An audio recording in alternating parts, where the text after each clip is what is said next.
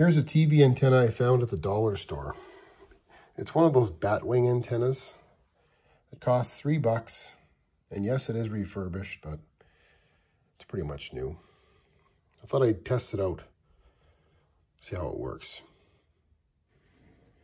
And taking it out of the box, it uh, needs a little bit of assembly, but looks like it can be done with just a Phillips screwdriver.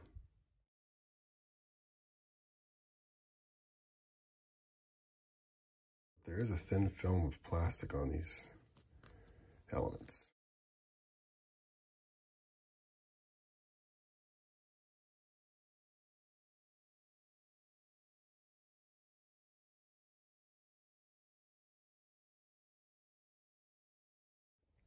Okay, and now that it's fully assembled, we're going to test it out against a set of rabbit ears. And just for reference, the entire antenna is about 30 inches long. And before we go any further, this antenna is designed to pick up UHF signals as well as high VHF.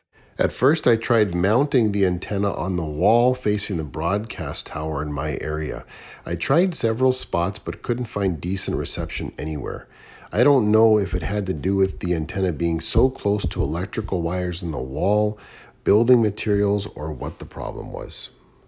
So in light of that, I decided to mount this antenna on a little pedestal and see if that helped. And to keep this experiment fair and honest, I've mounted the dollar store antenna right at about the same height as the tops of the rabbit ear elements, and I'll also be using the same piece of coax cable for each test. The rabbit ears kept a stable picture with signal readings ranging from 53 to 69%. And the dollar store antenna surprised, registering a signal strength ranging from 65 to 77%. And here's the final results.